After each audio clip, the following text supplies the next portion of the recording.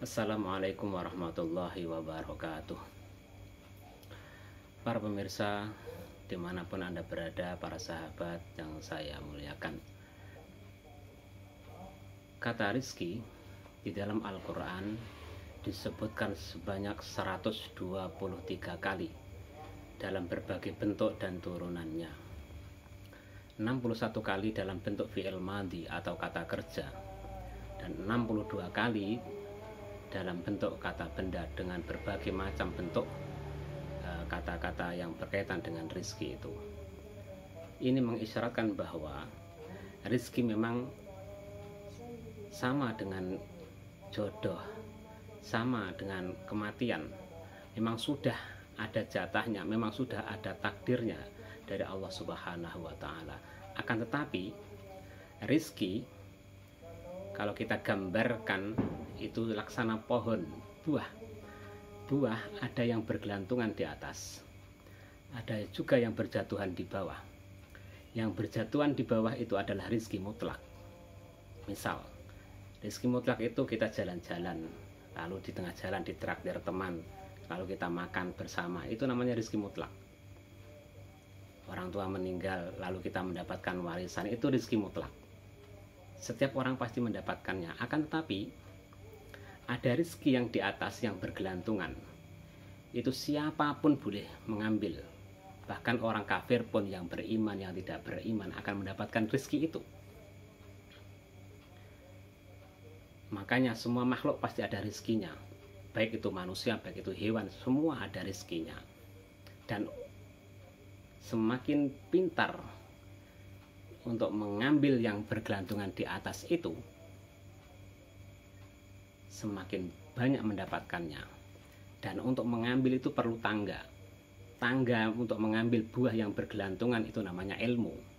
Siapa pun yang mempelajari orang itu beriman atau tidak, percaya Allah atau tidak, pasti akan mendapatkan banyak semakin banyak ilmunya semakin bisa mengambil banyak itu buah bisa menggunakan apa itu genter atau gantang atau apa pun lah untuk mengambil buah itu itu namanya ilmu. Tidak pandang bulu itu iman atau enggak pasti akan mendapatkan namanya rezeki itu.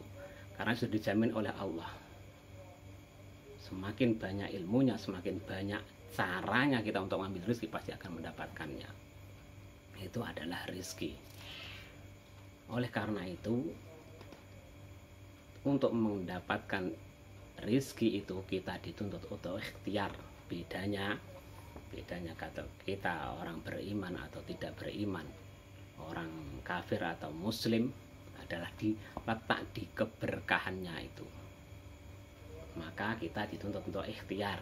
Ikhtiar dituntut uh, ikhtiar dihitung ibadah oleh Allah Subhanahu wa taala. Karena uh, kita dalam mencari rezeki dituntut dengan yang halalan thayyibah yang halal dan yang baik oleh karena itu, dalam mencari rezeki kita harus pandai. Untuk mendapatkannya kita perlu ilmu, kita perlu alat untuk menggapai rezeki itu. Oleh karena itu, kita sebagai muslim harus pandai-pandai dalam mendapatkan rezeki, bukan hanya sekedar jumlahnya yang banyak, akan tetapi bagaimana cara untuk mendapatkannya harus dengan yang baik dengan yang halal, yang toyib.